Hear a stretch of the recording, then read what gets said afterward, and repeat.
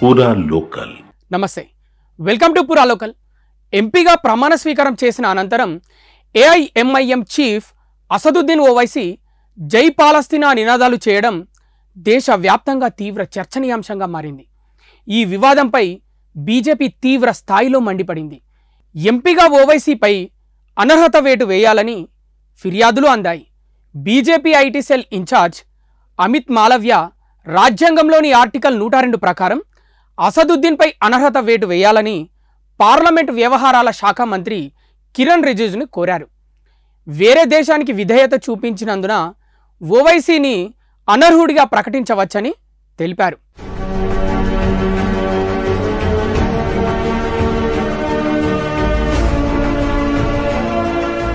ఇక ఈ వివాదంపై స్పందించిన అసదుద్దీన్ తాను చేసిన నినాదాన్ని సమర్థించుకున్నారు.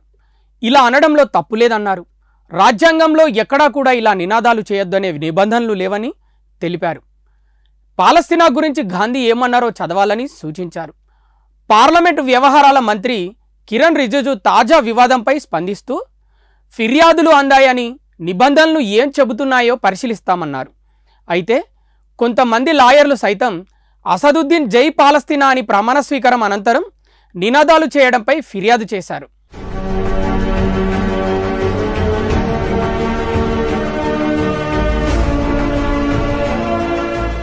ఇవి ఇప్పటి వరకున్న అప్డేట్స్. మరిన్ని అప్డేట్స్ కోసం చూస్తూనే ఉండండి. పూరా local. Your choice for local voice.